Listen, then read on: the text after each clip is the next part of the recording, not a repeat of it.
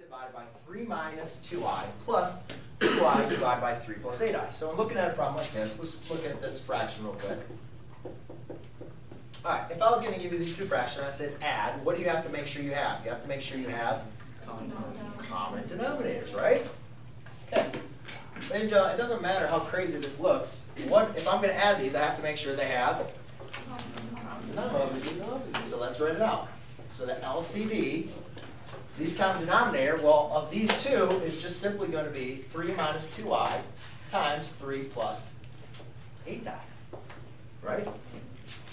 So now, let's go ahead and multiply by our least common denominator to see what we get.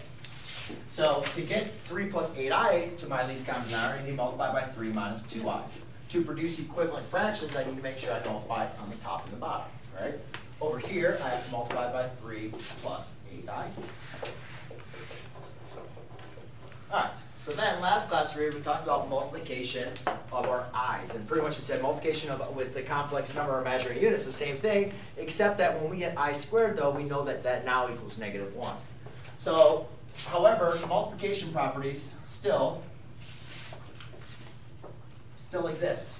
Hence, on the top, we're gonna, or on the numerator, we're gonna do use distributive property.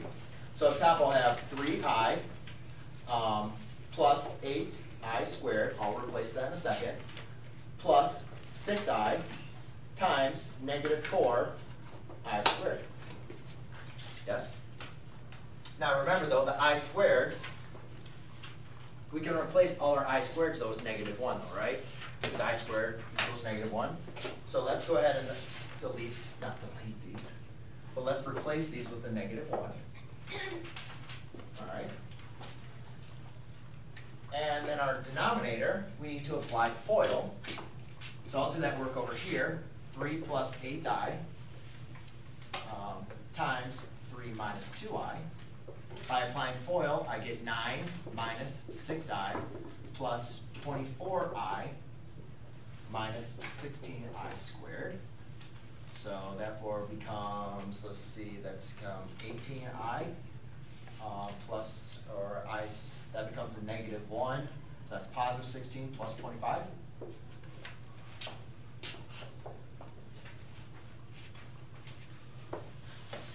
Everybody check my work? Looks good? Okay, so now I can simplify this. Up top, that's going to become a negative 8. That's become a positive 4, so that's 12. So it'll be 12 plus um, 9i over 18i plus 25.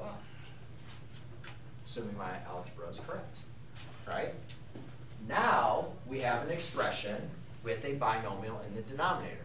Yes? Make a mistake?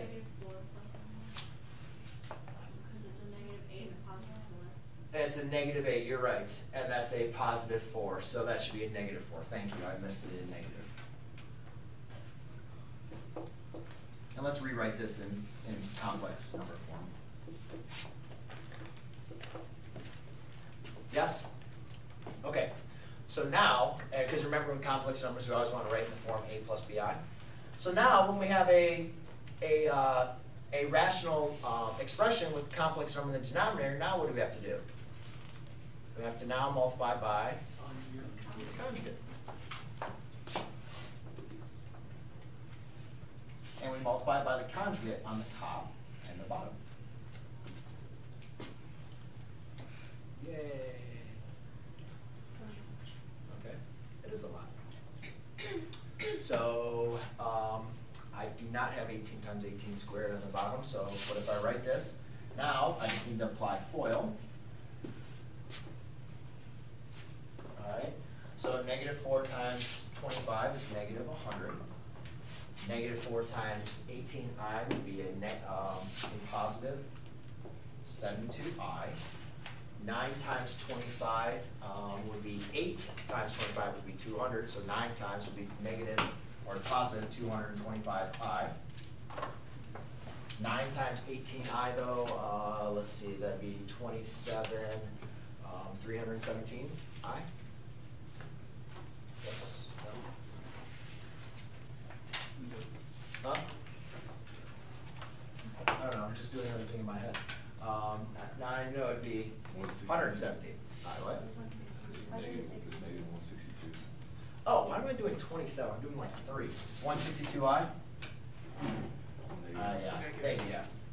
Negative, yeah, thank you. Nine, yeah, nine times eight is seventy-two, not twenty-seven, I don't.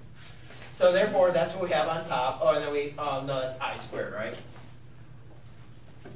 I squared, so then that's just gonna become a positive one sixty-two. Yes? Right?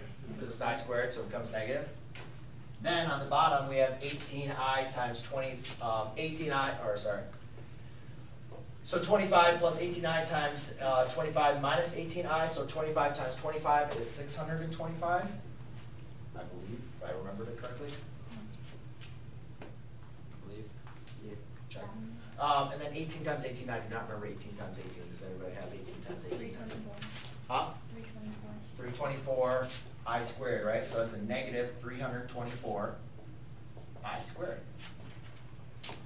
Well, i squared is negative 1, so then that just becomes a positive. Whew, all right. Is this looking fun? So now let's go ahead and add these up. So you have negative, uh, 100 plus 162.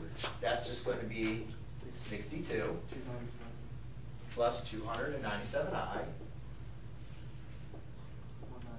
All over nine hundred and forty-nine.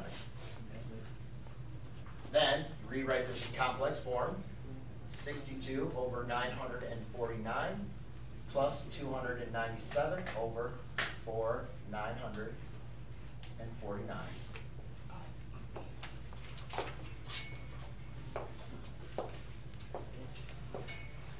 Okay, um, the other problem